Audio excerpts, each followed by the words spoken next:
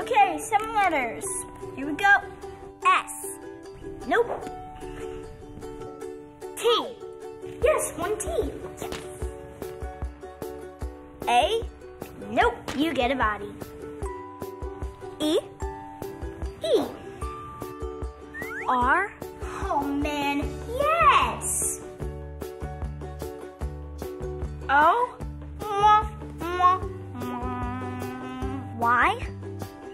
26 letters. Look at that one. Hmm. N. Sorry, no N, just the leg. P. Wow, you guys are good. Yes. B. Yes, there's a B. Puberty. Ding, ding, ding. Yes. Is that really your word, Austin? Seriously, man, why'd you pick puberty? Because that's what we're learning about in health class next week. And I know you're all really excited. That's not funny, man. No, that's not funny at all. I just hope it's not going to be too embarrassing. Personally, I don't think it's going to be such a big deal. Yeah, me neither. My brother said he actually learned something, and trust me, he knows everything.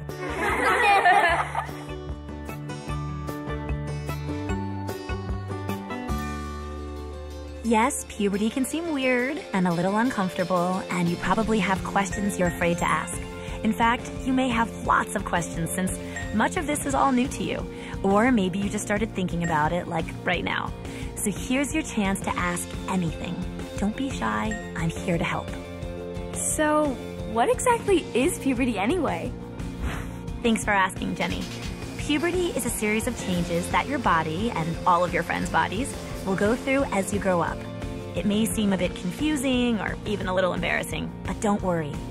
It happens to everyone, boys and girls, and it's totally normal. For girls, you'll get taller during puberty, your breasts will get bigger, you'll start growing body hair in new places, and you may get body odor. Your skin and hair may become oily, and you may get pimples. You may also get angry more easily and go through mood swings. The biggest change you'll experience, however, is that you'll start your period. Now, along with those changes comes more freedom and responsibilities. So you're going to need to work hard to make grown up decisions, which is also an important part of getting older. Wow, that's pretty intense. But what causes all these changes? Actually, something really cool causes all these changes. You see, it all starts here in a tiny little gland located under the front of your brain called the pituitary gland. As you begin puberty, usually between the ages of 8 and 13 for girls, your pituitary gland sends a signal to your ovaries to begin making a hormone called estrogen. The estrogen made by your ovaries during puberty travels throughout your entire body and causes all the changes we just discussed. Boys go through this process too, but the hormone in charge of their body changes is called testosterone. During puberty, you'll start growing pubic hair in your pubic area, under your arms, and you'll grow more hair on your legs. Your body shape will become softer and curvier, your hips will get wider, and your breasts will get fuller. These changes mean you're becoming a woman, and it all leads up to you being physically able to have a baby someday. But remember, a baby is a big responsibility, and you're probably not ready for that yet. My friend says everyone starts to stink when they go through puberty. Is that true? Actually, Maria, that's not exactly true. First of all, everyone sweats boys, girls, even babies. That's because we're all born with sweat glands called eccrine glands, which produce clear, odorless perspiration that cools your body when it gets too hot. But once you hit puberty, different sweat glands, called apocrine glands, also start working. Now, when the sweat they produce mixes with bacteria on your skin, it can cause body odor, also known as BO. So, it's the best way to deal with BO? Take a shower or a bath every day, and be sure to use soap or body wash. Another way to help minimize BO and feel less stinky is to use a deodorant or a deodorant with antiperspirant to help keep body odor in check. But what about my face? Am I gonna get pimples? Well, that depends. You see, besides sweat, there's something else your body will start producing during puberty. It's called sebum. It's an oily substance that can cause acne, also called pimples. Acne is really common during puberty and can't always be prevented even by washing all the time. The best way to help keep your skin clear is to wash your face twice a day with a gentle cleanser. And remember to use a moisturizer. And one more thing. Sebum can make your hair look and feel greasy too. So be sure to shampoo regularly to keep your hair clean and healthy. And to keep it from being frizzy, try using a light conditioner and a wide tooth comb when your hair is wet. Washing it every day or every other day is best for most hair types. But do I really have to brush my teeth twice a day? Yes, actually you do. Brushing helps keep your teeth healthy and clean, and more importantly, it can keep you from having dragon breath. So remember, the best way to avoid dragon breath is to brush your teeth properly every morning and every night with a good toothpaste. My sister has a pretty big chest. Are my boobs gonna get as big as hers? Well, Mandy, a lot of that depends on your family. If the women in your family have large breasts, then chances are yours may be big too. The same thing is true if the women in your family have smaller breasts. But remember, breasts come in all shapes and sizes. That's why they make bras in all shapes and sizes too, so you get the right support. They even come in different colors. Finally, every girl's chest develops differently. So even if some of the girls you know already seem big to you, no worries. Your breasts will fill out when the time is right. How will I know when I'm gonna get my first period? Here's the deal, Suzette. The only way to know for sure when you're going to get your first period is by pulling the date you're going to start out of a magic hat. Just kidding. The real answer is that no one knows. Your body is unique and definitely on its own schedule. Generally speaking, however, you can expect to start your period about two years after your breasts start to develop and you start growing pubic hair. Another important sign that your period is on its way is called vaginal discharge, which may sound worse than it is. Actually, it's just a clear or whitish fluid that comes from your vagina, and it's completely normal. So when you notice a creamy white stain in your underwear for the first time, it usually means your first period is coming soon. Once I start, will it come on the same day every month? In the beginning, your period might not be regular. Actually, it can take a year or two for a girl's body to settle into a regular cycle. After you've had your period for a while, though, it will most likely happen like clockwork. A normal period comes about once a month, or about every 28 days. If you want to figure out when to expect your period, it's easy. Just mark the first day you start on a calendar. Then count 28 days and put another mark on the calendar. That way you'll have a good idea when it's coming. Or you can be more high tech and track your period online by using the helpful period calculator on beinggirl.com. Why do women have periods anyway? Good question, Katie. Women have periods because of our reproductive system, which allows us to get pregnant once we're adults. Here's how your reproductive system works. Each month, your body produces hormones that cause an egg in one of your ovaries to mature and ripen. At the same time, the lining of your uterus, called the endometrium, begins to thicken. When your egg is fully mature, your ovary releases it into your fallopian tube. The egg then begins its journey through the fallopian tube toward your uterus. If the egg is fertilized by the male reproductive cell called the sperm while it's in the fallopian tube, the egg will attach to the endometrial lining on the inside wall of the uterus.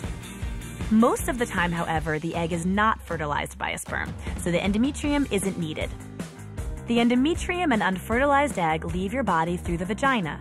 When you shed this blood and tissue, it's called menstruation, or having a period. Wow, so how much blood is there? Not very much, actually. You'll only lose about 4 to 12 teaspoons of blood and tissue, and it doesn't come out all at once. On average, it takes most women about 5 days for it all to come out. This whole thing seems sort of gross. Do all girls get a period? Even my teachers? Yes, almost every girl gets a period, usually between the ages of 10 and 16. And yes, your female teachers get their period too.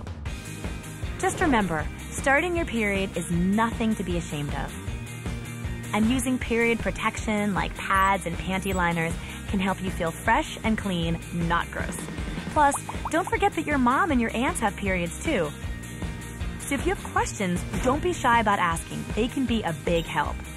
And if it's helpful for you, write down your questions and find a casual time to start the discussion.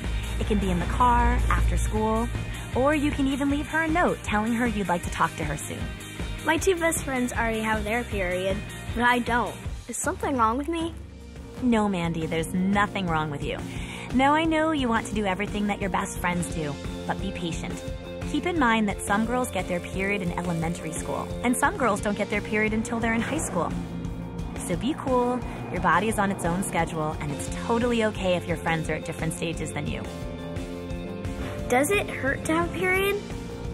Sometimes girls experience what are called period cramps. These happen because your uterus contracts or squeezes together when it's shedding its lining. Some girls get cramps, some girls don't. It actually depends on your body. If you do get cramps though, mild exercise usually helps and can actually prevent them altogether. You can also try taking a hot bath or using a heating pad to help you feel more comfortable. But what about PMS? It seems like my older sister's so dramatic when she's about to start. Ah, the dreaded PMS. you see, in addition to cramps, some girls experience what's called premenstrual syndrome, also known as PMS. PMS is caused by changing hormone levels, and it's a medical term used to describe symptoms that some girls feel about a week or so before they start their periods. Now, I'm sure you've heard a lot of jokes about PMS. Like, do boys get PMS? Nice one. No, of course boys don't get PMS. But it is in fact a very real thing for some girls and may include mood swings, breast tenderness, or a bloated feeling. You can help minimize these symptoms by making sure you get enough exercise, sleep, and proper nutrition. So, can people tell when I'm on my period?